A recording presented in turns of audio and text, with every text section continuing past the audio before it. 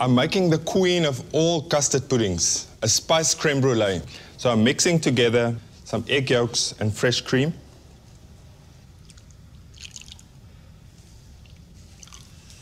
And to that, I'm adding caster sugar, vanilla essence,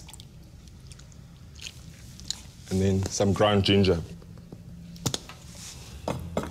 So this I'm just going to give a quick stir. And a good tip is to try not to aerate this mixture too much. So try not to get too many bubbles in there. So just slowly break the egg yolks and mix all of that into the cream. And then just to make extra sure there's no lumps or any sediment in there, I'm just going to strain that just to make sure that we get all the little, little lumps that might form in there out.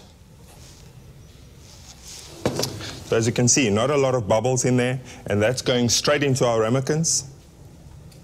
And I try and fill them just above or just below the top, just like that.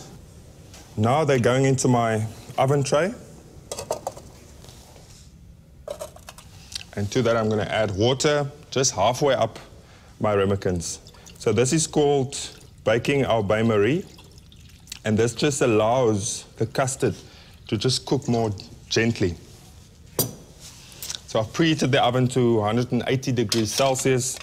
And this uh, is going to go in there for about 15 to 20 minutes. So I've checked on my creme brulees in the oven and I think they are ready.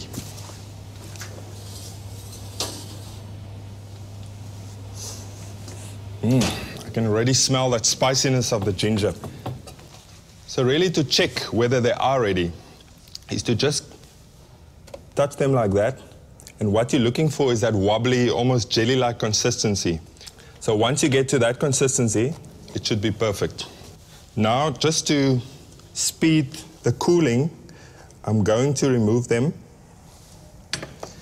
to put them into the fridge before we finish them off. My creme brulee has cooled down completely. Now just for the final touches.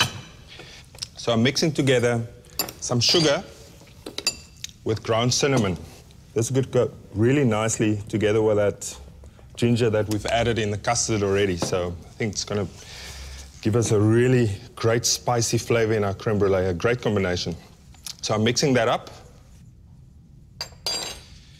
And then I'm just going to sprinkle that over the top. So flavor is important, but equally as important is the texture. So, and also the melting of sugar in a pan and then pouring over it just doesn't work for me. And the real proper way of making a creme brulee is having that really nice, thin, slightly burnt caramel on top.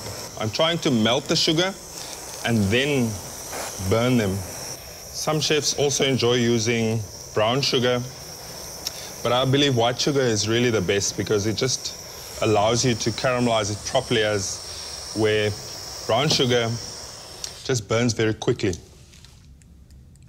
you want almost that really nice thin, and you can hear that. That's the way it should be, that's perfect. And now just to check, so have that really nice creaminess, still nice and wobbly, and that nice thin caramelized crust on the outside.